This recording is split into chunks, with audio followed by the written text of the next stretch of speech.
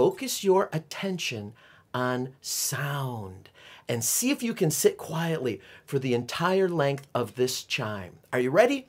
Here we go. Sit up straight. Just notice your breathing and focus attention on sound. Selfie, invite the chime.